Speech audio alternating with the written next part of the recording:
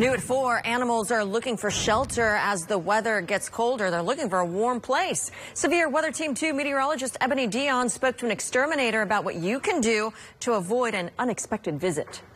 As temperatures drop, people are quick to head indoors to keep warm. Unfortunately, rodents and other wildlife are looking for those same comfortable conditions. I learned how to keep the unwelcome guests out of your home. Gray squirrels, flying squirrels, and rats.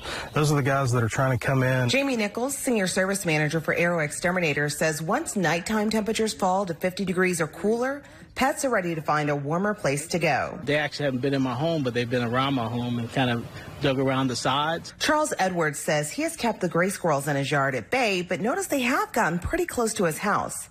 Edwards used a store-bought pest repellent that he thought fixed his problem. After, you know, a week or so, they were back. Nichols suggests sealing up gaps as the best way to get rid of rodents because once they are inside, they do not want to leave on their own. Rodents can enter through vents, gutter lines on homes, and roof connections.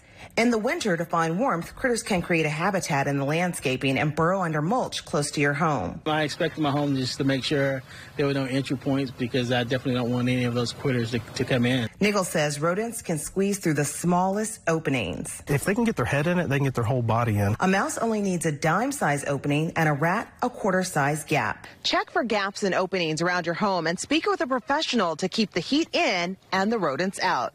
In Cobb County, I'm Severe Weather Team 2 meteorologist Eboni Deon.